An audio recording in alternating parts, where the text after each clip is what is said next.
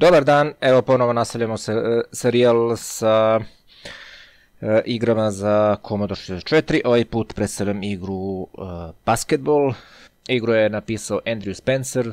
Ovo je jedna od prvih igara koju sam igrao na Commodore 64 i vidite ovdje sada sa funkcijskim tasterijama mogu da menjam boju e, mog tima i protivničkog tima. E, inače igru mogu da igraju dva igrača na dva joysticka, a može da se igra i protiv kompjutera. Kada se igra protiv kompjutera mogu da izaberem ovako nivo težine, kao što vidite ovdje.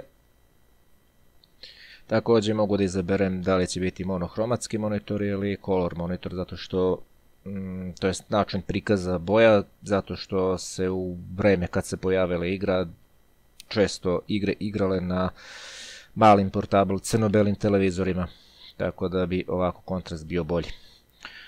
E, u svakom slučaju funkcijskim tasterima biram nivo, evo recimo ja ću izabrati ajde neki srednji nivo, nekad sam mogao da igram i na najtežem ovom devetom nivou, međutim sad sam pokrenuo ovu igru posle ne znam nijakoliko godina, možda posle jedno 20 godina. Ništa, evo ga nivo 5, e, ja ću da budem recimo plave boje će da bude moja ekipa, protivnička ekipa neka bude ajde crvena. I sada ću pritisnuti pucanje na joysticku i evo vidite kreće igra. Igra je jako stara, napljena je 1982. godine, kao što vidite te nemate liniju za 3 poena. Jer igra je jako star, napravljena još u vreme kada se košarka igrala bez e, trojke. Inače igra se igra 200 sekundi, e, i to jest jedno polovreme traje 200 sekundi. Ups, promašio sam. Dakle, jedno polovreme traje 200 sekundi, također nema četvrtine kao što to sad ima, već se igra na polovreme. Evo ja vodim 2-0. Inače, vodeći igrač koga upravljate e, je malo drugačije boje, ili je malo tamniji, ili je malo svetli od ostatka ekipe. Vidite, moj igrač koga ja vodim je e, svetlo a protivnički igrač je evo, neka ljubičasta boja. promašio sam. Inače, ova igra ima i nastavak. Tamo su uključene trojke i još nekoliko modova igrenaca i e, NBA s tim što će to biti u nekoj od narednih epizoda. Sjećam se ove igre, igrao sam na svom crno-belom Philips malom portable televizoru. Baš sam često igrao i to pre, na primjer, sećam se pre polaska u školu. Na primjer, idem u drugu smenu školu, ja pred školu igram malo o ovo je suviše lako, ipak nisam baš toliko ispo iz forme. Vodim 6-0, možda je trebalo da berem i najteži nivo, ali dobro, nema veze. I jako je dobro za, zapravo za svoje vreme. To je ostvari jedna od prvih košarki uopšte na kompjuterima, možda ostvari prva za koju ja znam. Ne znam da li ima neka starija košarka do Publika je e, animirana, vidite kad god postigne koš, publika uploadira. Inače često sam ovo igru puštao i da igra u demo modu kompjuter protiv kompjutera, tako da sam igrao i neka prvenstva. Ja sam na primjer vodio jednu ekipu, ostale ekipe su igrale same protiv sebe utakmice. Tako da je bilo prilično zanimljivo, sećam se tih dana kod je juče bilo. Volio bi da se vratim u taj period, iskreno. Opa, promašaj. Evo, ovo je bio faul, evo slobodne bacanje. Dakle, kad protivnik vodi loptu, dovoljno da se postavite izme, e, ispred njega i ako naleti na vas, e, piće faul. I bravo za mene.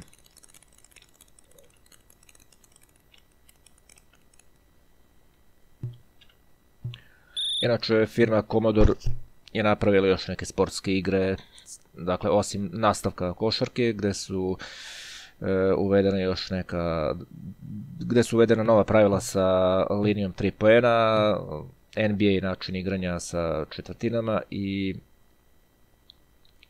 NCAA univerzitetsko takmičenje. Čini mi se, e, Commodore je pravio još i futbal i, i, i tenis.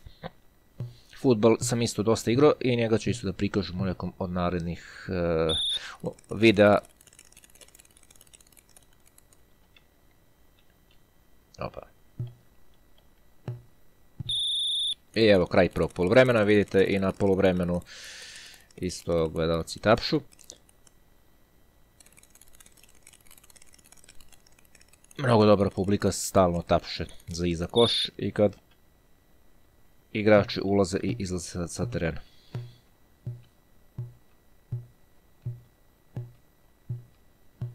Ja sad da napravimo jednu akciju da se dodajemo, ali iz pogrešno dodana lopta, da li će ups, upala. Evo, uspeo sam da presečemo loptu, ali sam napravio faul u napadu.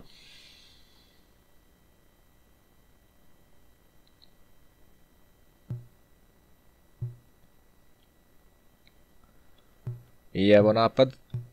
Da li ću uspjeti da pogodim, sam se probijam, sam sam pred košem i pogađam. Bravo za mene.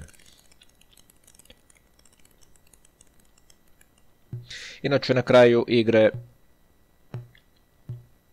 pobednička ekipa dobija i pehar, to ću isto da vam prikažem, evo još, strpite se još jedno 2-3 minuta, to je 2 minuta čiste igre, međutim, kao što znate u košarci svaki prekid, e, na svakom prekidu vreme se zaustavlja, tako da on neće biti zapravo 110 sekundi, bit će nešto više.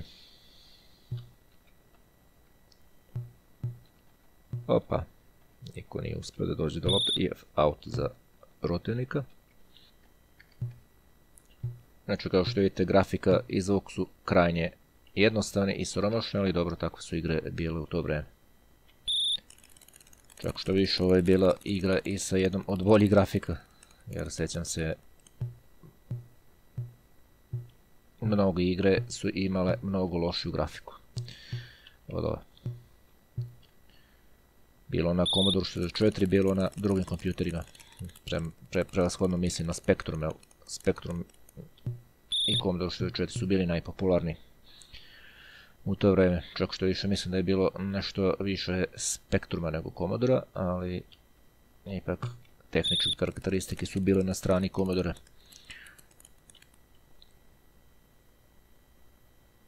Jedno što je Commodore Basic bio malo nezgrapan, ali iskreno ja sam se naviku na njega i pravio sam zanimljive programe sve vremena.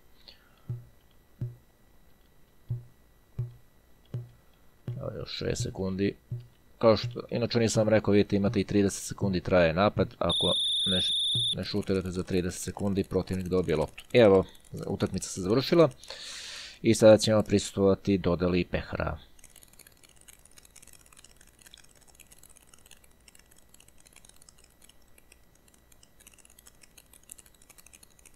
Evo jedna devojka donosi pehar i predat će pobedniku. Evo, pobednička ekipa je dobila pehar.